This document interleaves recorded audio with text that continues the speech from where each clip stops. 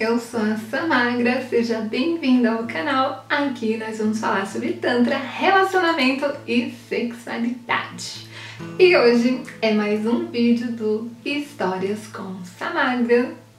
E eu vou contar uma história muito bacana que eu sempre conto em todas as imersões presenciais que eu dou, que é a história de como eu co-criei um, meu casamento para 200 pessoas sem dívida em uma meditação tântrica. Eu sempre gosto de contar essa história antes da primeira prática de meditação tântrica que a gente faz na imersão em Tantra, né, que é um encontro que eu faço presencial uma vez por mês em São Paulo.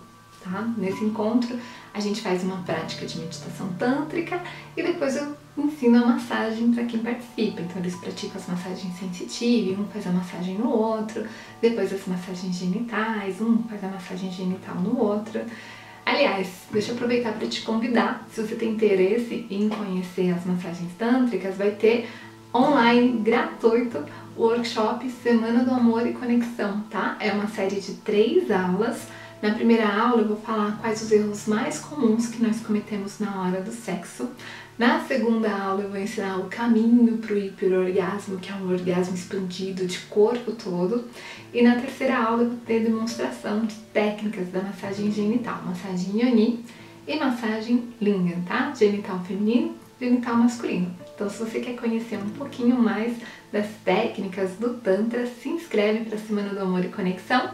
O link está aqui embaixo na descrição do vídeo. É só cadastrar o seu e-mail que você vai receber o link para as aulas no seu e-mail, tá? Mas voltando.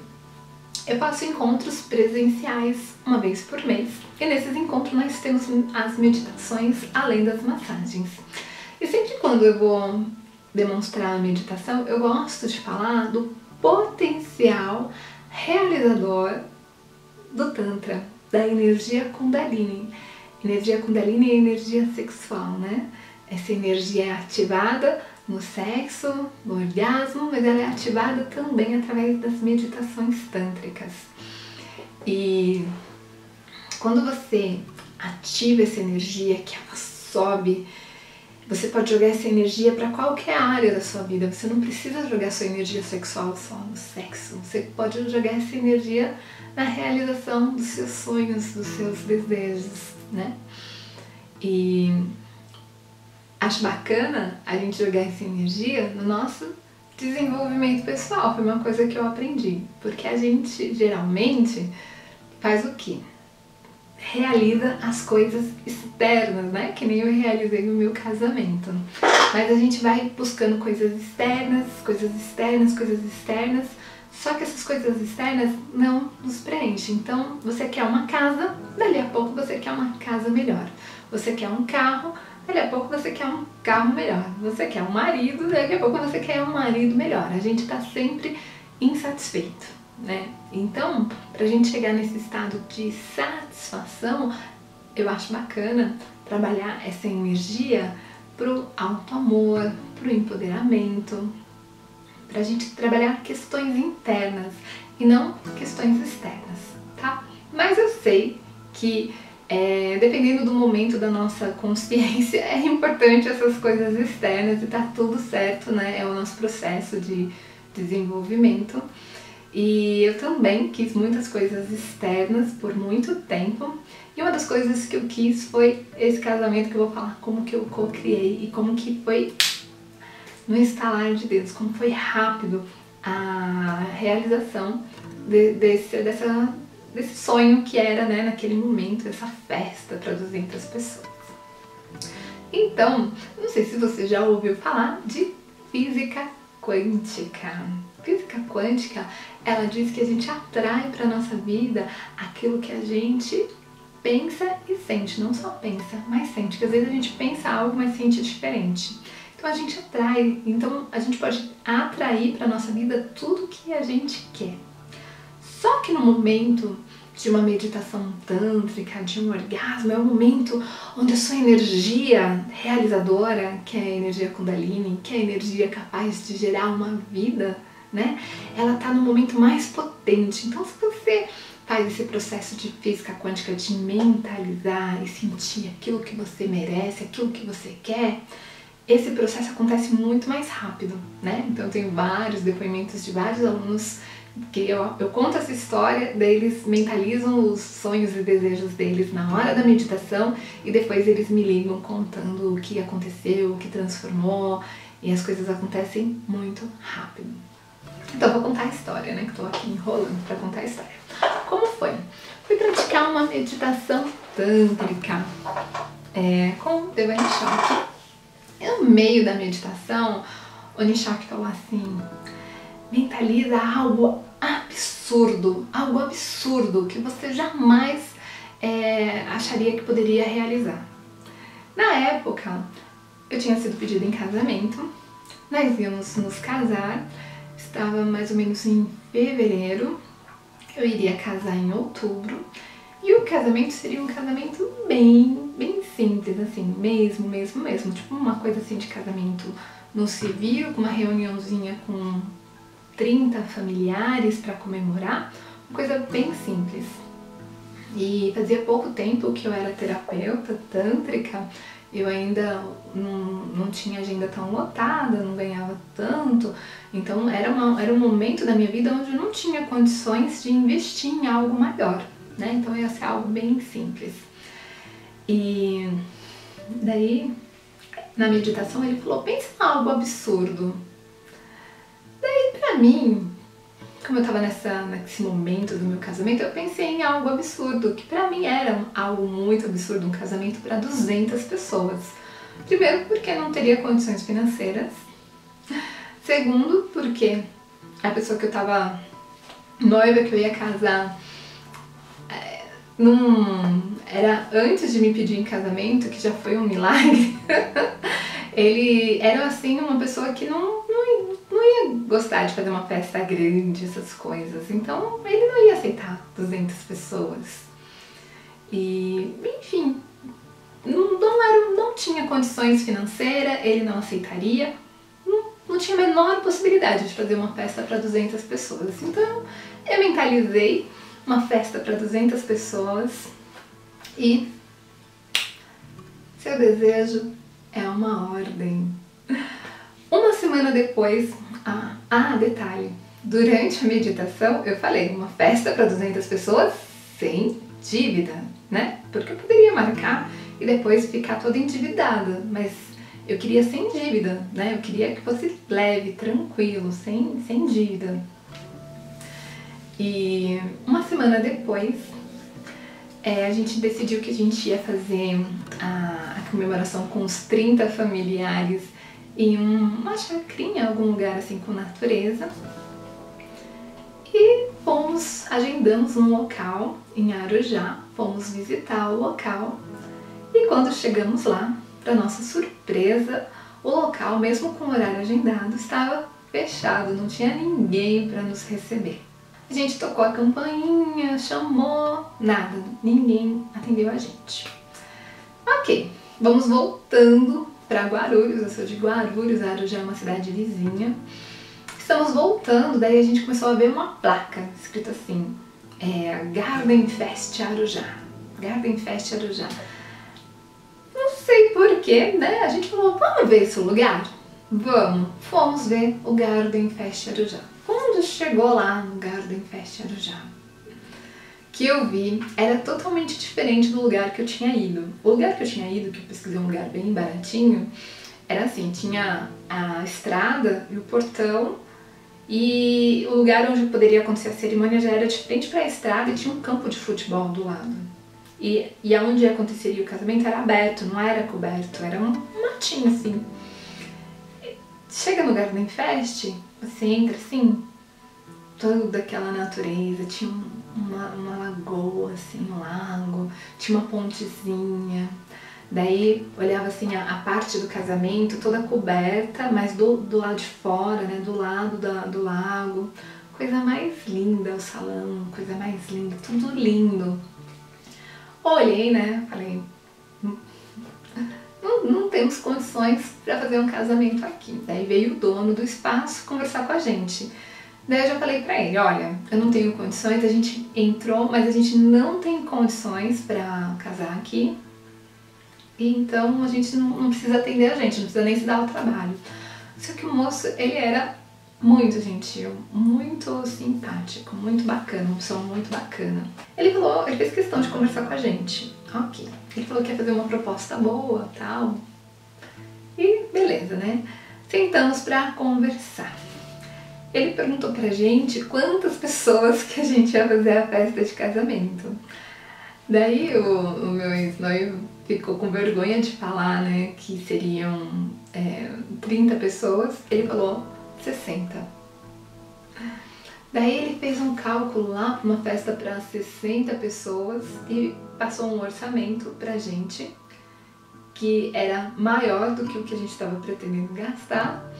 Daí a gente falou, realmente não dá, né? Quando a gente estava indo embora, a gente entrou na cozinha, a cozinha estava em reforma e precisava colocar umas paredes de drywall. E o meu noivo, ele trabalhava com drywall antes de ser terapeuta tântrico. E daí ali eles fecharam uma permuta. Ele ia fazer as paredes lá de drywall e esse valor seria abatido do valor do orçamento que ele me passou. Com esse abatimento, o valor então justamente dentro do valor que cabia no meu bolso para as 30 pessoas. Daí eu já achei mágico, né? Só que daí o bonito falou assim: "Ah, mas a gente não vai alugar esse espaço para fazer uma festa para 60 pessoas, vamos fazer para 120". E eu que achava que era impossível, né? O ser querer fazer uma festa, ele mesmo decidiu que em vez de 60 seriam 120 pessoas. Daí eu achei aquilo muito louco, né? Porque a gente mal tinha dinheiro para fazer de 30 quanto mais 60 e agora a gente ia fazer para 120. E eu falei para ele: "E aí, mas como é que a gente vai pagar?" Ele falou: "Não, pode deixar que eu vou dar um jeito". Fomos para a degustação do, dos pratos na outra semana, no outro final de semana. Daí eu levei a minha mãe e ele levou a mãe dele. Chegando lá, fizemos a degustação. As nossas mães conheceram o espaço. A mãe dele pega e me fala: Filhinho, você não vai fazer uma festa para 120 pessoas, você vai fazer uma festa para 200 pessoas. A mamãe paga a diferença. E magicamente, depois de duas semanas que eu meditei que eu queria uma festa para 200 pessoas sem dívidas, aquilo tudo aconteceu. Então, eu tinha certeza que aquilo, e, e sem nenhum esforço meu, né? Eu não fui atrás de nada, sem nenhum esforço meu. Então, eu tinha certeza que aquilo era uma cocriação da meditação que eu fiz. E eu tinha tanta certeza, tanta certeza, que se a festa com 200 pessoas já tinha aparecido e como eu fiz aquele adendo, né, sem dívida, eu fiquei muito tranquila que ia ser sem dívida. E o que, que aconteceu? No processo, né, de fevereiro até outubro, que foi o casamento, eu tinha tanta certeza que ia ser sem dívida, a minha fé era tão grande que a meditação que tinha co-criado aquilo, que eu fui escolhendo tudo sem olhar valor, sem olhar preço, né? Então eu fui escolher o convite, eu escolhi o convite que eu queria, não o mais barato. Eu fui escolher o vestido, eu escolhi o vestido que eu queria, não o mais barato. E assim foi, né? Durante todo o processo do casamento eu fui fazendo, escolhendo tudo. E o que aconteceu? Eu passei a ganhar três vezes mais do que eu ganhava em média por mês depois disso. Tipo, a minha agenda começou a encher. Então, assim, foi, foi uma cocriação e, e aconteceu tudo do jeitinho que eu mentalizei. Então foi. Eu pedi, mentalizei, joguei minha energia e as coisas aconteceram. Então, para vocês verem o quão a nossa energia é potente, né? Basta a gente ter fé, acreditar que as coisas acontecem, tá? Mas tomem cuidado com o que vocês pedem, sabe por quê? Eu, no, quando acabou a festa de casamento, eu tava ali nervosa, brigando com a cerimonialista e ela falando que, que, que foi, foi maravilhosa a festa. eu falei, não foi, eu não consegui dar atenção para as pessoas, tinha 200 pessoas, eu não consegui dar atenção para as pessoas. Teve meu primo veio de fora, minha tia veio de Aracatuba. Eu não consegui dar atenção para as pessoas e eu triste porque não tinha dado atenção para as 200 pessoas. E triste porque não tinha aproveitado a festa. Porque Daí contratou fotógrafo, filmagem, daí ficou um tempão tirando foto lá daquele lado de fora, aquele lugar bonito. E daí quando eu fui pra festa mesmo, já tava quase na hora de acabar, então não, não curti, não aproveitei, nem, nem parei pra comer, né? Quando a gente parou pra comer, eu lembro que a gente não conseguia nem comer, que a gente tava na ansiedade de ir logo pra festa, de aproveitar, de. enfim, daí a gente foi pra festa no finalzinho, nem conseguimos comer, então acabou sendo é, frustrante essa situação, né? Mas a gente pede algo e aquele algo de repente não é o que vai fazer a gente feliz, sabe? É, ah, mas uma coisa também bacana de falar é que durante esse processo do casamento, né, né a, a mãe dele acabou pagando metade do valor do casamento, a outra metade eu que acertei. E eu acabei ganhando muitos presentes. Minha mãe ajudou com, com 8 mil reais. E eu ganhei muitos presentes em dinheiro. E daí o valor que eu acabei investindo nessa festa, que essa festa foi em torno de uns 50 mil reais. E eu acabei investindo cerca de 17 mil reais na festa, mas olha a grata surpresa, quando eu fui ver a lista de presentes, tinha 17 mil reais em presentes. Então eu não gastei nada com a festa, porque o que eu gastei me retornou depois em presente. Olha só o poder de uma cocriação, né? Mas é isso. A questão é, pensem bem o que vocês querem cocriar, né? Porque eu cocriei a festa, passei a lua de mel chorando, porque não consegui dar atenção para as pessoas, porque não consegui aproveitar a festa, passei o ano todo planejando a festa e a festa foi assim. Então, é, pensem muito no que vocês querem, porque as coisas externas, né, a gente, tudo que você quer externo, dali a pouco você quer mais, dali a pouco você quer mais.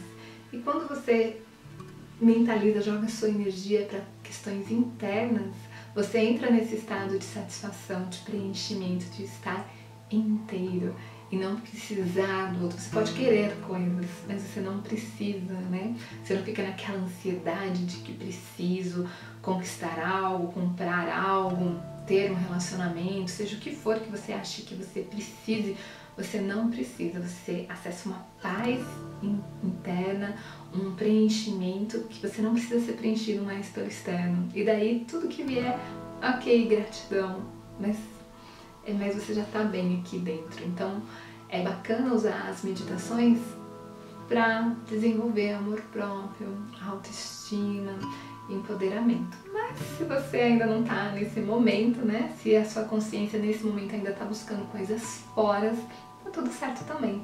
Faz parte. Então pode mentalizar os seus sonhos, seus desejos, como diria o professor Hélio Couto, casa, carro, apartamento. Mentalize o que você quer, que vai ser importante para sua felicidade nesse momento e tá tudo certo. Então é isso, tá bom? Se você tiver alguma dúvida sobre tantra, relacionamento, sexualidade, deixa aqui embaixo nos comentários que eu vou adorar gravar um vídeo respondendo a sua questão. Gente, eu leio todos os comentários. Às vezes eu não consigo responder na hora, mas eu leio tudo e depois eu vou respondendo aos pouquinhos, tá bom? E é isso. Se você gostou do vídeo, curte, compartilha, assina o canal para acompanhar os próximos vídeos. Me acompanha nas outras redes sociais, no Instagram. Agora eu tô também com o canal do Telegram. O link tá aqui embaixo na descrição do vídeo. Se inscreve para a Semana do Amor e Conexão, link tá aqui embaixo também. E é isso. Gratidão e até mais.